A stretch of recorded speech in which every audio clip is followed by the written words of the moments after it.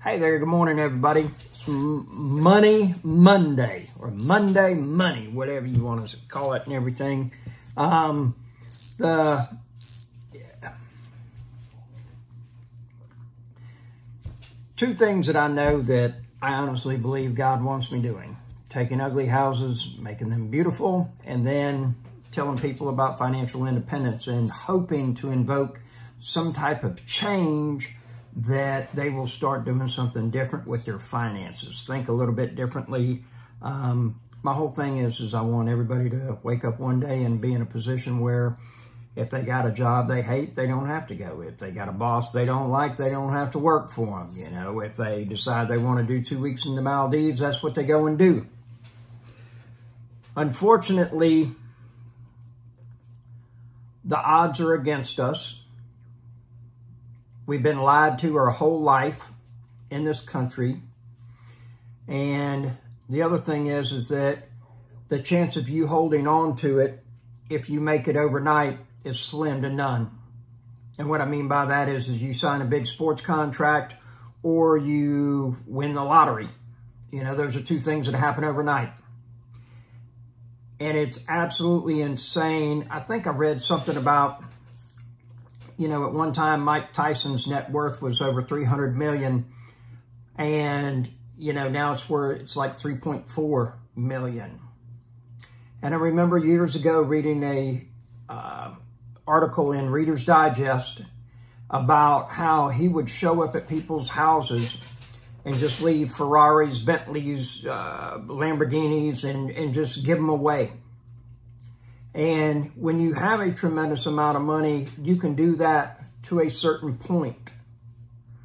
But once you start giving away 10 to 15 to 30, 150, 200, 300,000 dollar cars each month or, you know, in a year, so to speak, and, uh, you know, before you know it, that adds up. Well, how does that really relate to me? Because, oh, well, the only way I'm going to ever own a supercar is if I get extremely sick, mad, wealthy, okay? And I just don't want to really work that hard to obtain that. The other thing is, is if somebody leaves me one. I don't know anybody personally with one that would do that, that were that close, so probably not going to happen, okay? I tell you what I do want is I want a Fastback 68 Mustang. I want it with a new motor, new AC, disc brakes all the way around. I just want the old body style, but I want all the luxuries of new modern technology. You can find that car for between 50 to 100,000 and that's realistic. I, I, would I could see myself getting one of those and I could see myself with a uh, 94 to 96 uh, Fleetwood Cadillac. Okay. I want it all murdered out, just total gloss black over everything. No vinyl, no crimp, no chrome, nothing, just totally murdered out and probably about, oh, three to four inches off the ground. And, um, you know, just a good cruising car. And um, so the reason I say all of that is, is this. You don't have to be Mike Tyson waste money. You can be Robert Biggerstaff, you can be the average Joe and start and sit there and be throwing away money on things that don't put any money in your pocket and don't help you getting any closer to being in a situation where you have extra money coming in every month. You know, one of my goals for this year, and I am already doing it, is keeping better track of my numbers as far as how much labor is spent on working on my properties and how much rent comes in and all of that so that I know exactly how much each month the company makes in net profit, okay? And what I mean by that is, is that you could have $100,000 come in and you could have $50,000 go out. Does that mean you made $50,000? No, it does not. You still have to pay people. You still have to take care of expenses. You still have to do this, this, and this and everything. It's just not homeowner insurance. It's just not taxes. It's just not that. It's just not this. We have what we call net profit. Net profit is when all of the bills get paid, everybody's salary gets paid, and if you're not including your salary, you need to.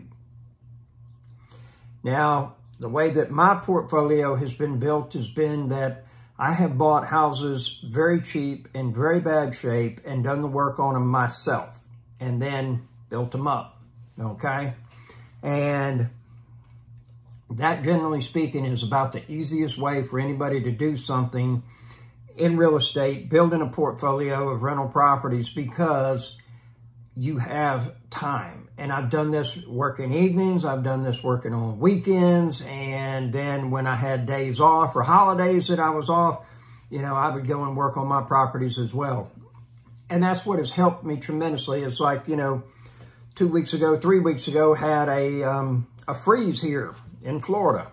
Had two properties that had busted pipes. We went and repaired those. I ended up probably saving one of them. We had to totally repipe the house. That would have probably been about 5000 And the other repair would have probably been about three or 400 had I not done it myself. Okay, so we saved a tremendous amount of money. That money, money saved is money earned in the sense that, you know, half the battle is getting money coming in the account. The other half is keeping it in the account where it's not going back out. And so many people are like, as soon as we get the money, let's go ahead and, we'll, and we're going to start spending it. And, you know, we need to stay away from doing that as much as possible.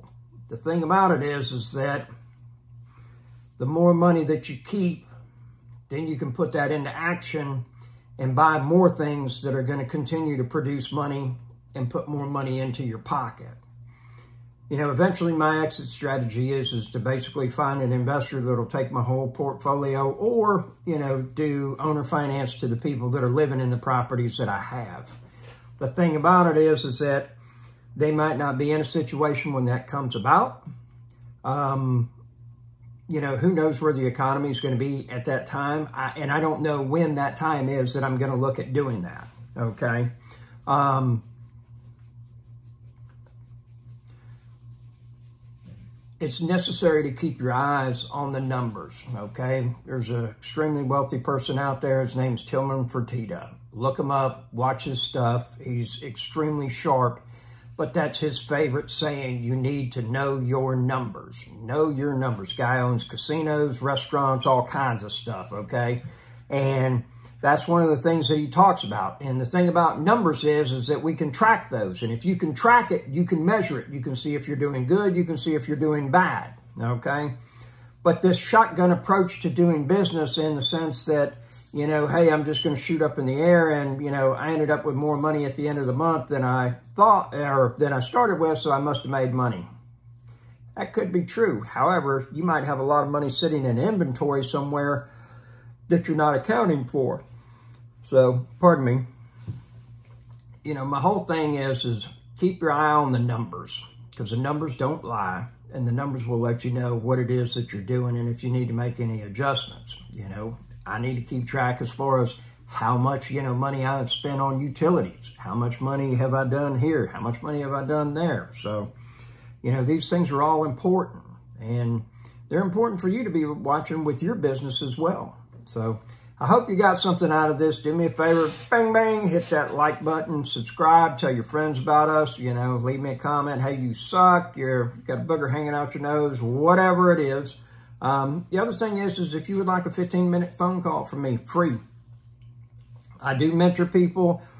That is something that I do charge for the thing about it is, is that when somebody puts an investment into something, it tends to mean a whole lot more to them as opposed to if they receive that item for free, they, it's really not that important. Um, that's been my experience with it. Um, and unfortunately, if you're not paying for it, then I'm more worried about your financial success than you are. But if you want 15 minutes of my time, free of charge, okay, there's a email in the description on the video. Send me your phone number to that email and I will call you and we will talk. And you will get 15 minutes of my time, no charge. And you can ask me anything you'd like. And generally speaking, if it's a, you know, a question having to do with legality, should I do this or that? I'm going to tell you, you need to consult an attorney. Okay. Um, I'm not about to offer any advice that might have any type of liability or repercussions that'll be harmful to you or me. However, I have no problem giving you opinions if you haven't noticed that already. So, hope you have a wonderful day. Be productive, be profitable, and figure out who's got your money.